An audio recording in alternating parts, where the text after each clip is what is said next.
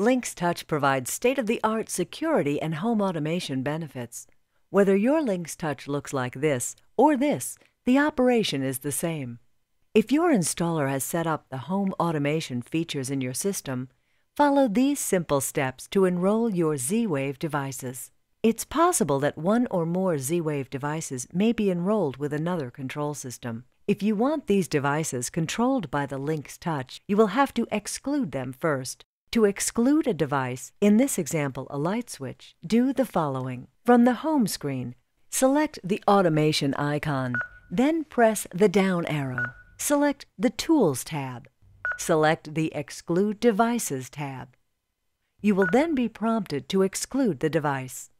Within several minutes, press the designated button on the switch you want to exclude. You will get a confirmation screen displaying the excluded device, or it may display Unknown Device Excluded. Select the back icon once to get back to the Tools menu screen. We will now enroll the light switch and two other Z-Wave devices. To enroll a light switch, select the Include Devices tab.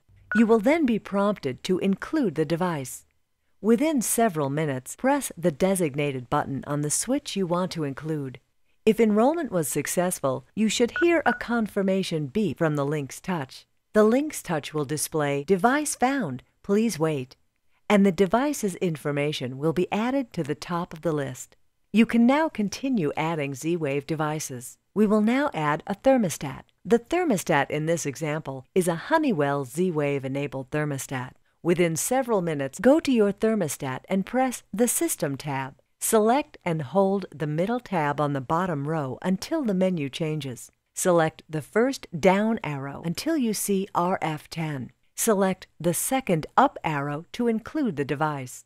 If enrollment was successful, you should hear a confirmation beep from the Lynx Touch. The thermostat device information will be added to the list.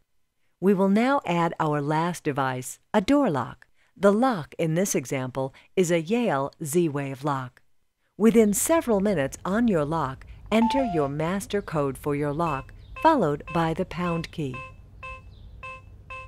Menu mode. Enter number. Press the pound key to continue. Select 7. Wireless You will be prompted to select Press the pound key to continue. enroll. Join the wireless network. Then Press the select pound the key to pound key continue. to confirm. If enrollment was successful, you should hear a confirmation beep from the Lynx Touch. The door lock device information will be added to the list. When you are finished enrolling all your Z-Wave devices, press the Abort button. Now that we successfully enrolled our Z-Wave devices, we will rename each one. Giving your Z-Wave devices a custom name will make them easier to locate on the device list. To do this, select the back icon until you return to the automation screen. Select the Switches tab. Select the switch that you enrolled. Select the Edit icon. Select the Clear tab. Then type in the name of the device. You have 14 characters available for the name. For this example, we will name this Hall Light. Select Done. Select back arrow until you reach the automation screen. Now let's name the thermostat. Select Thermostats. Select the thermostat that you enrolled from the list. Select the Edit tab. Select Clear, then type in the name of the device. In this example, we will name it Main T-Stat. Select Done. Now let's name the lock. Select back arrow until you reach the automation screen. Select Locks. Select the lock that you enrolled. Select the Edit tab.